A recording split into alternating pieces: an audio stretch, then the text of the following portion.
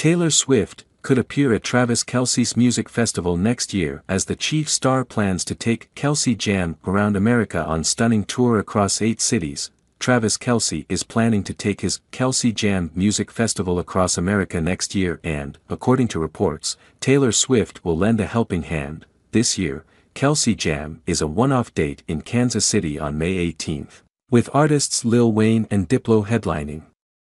Swift definitely won't be there as the date clashes with her Eras tour shows in Sweden, but that could be different next year, according to The Sun, who say Kelce has a $15 million budget to spend, they say Kelce Jam could significantly expand next year.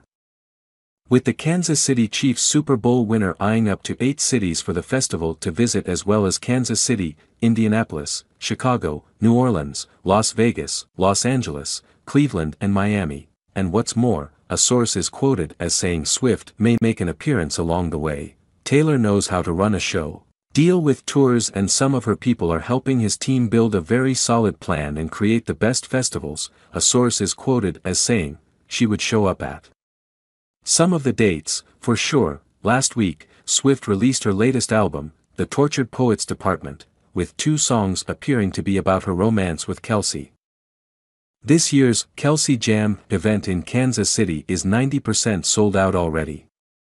Last year, he had Machine Gun Kelly and Rick Ross headline the event, the first time he had staged the show, the 34-year-old Kelce has made no secret that he is laying foundations for life after football but right now, the Chiefs are his main priority. When he returns for preseason practice, attention will be set on helping the Chiefs record an historic NFL three-peat in the coming season. February's Super Bowl victory for Kelce was the second in a row. They beat the Philadelphia Eagles and his brother Jason, in the 2022 game and followed it up by emerging victorious against the 49ers in February.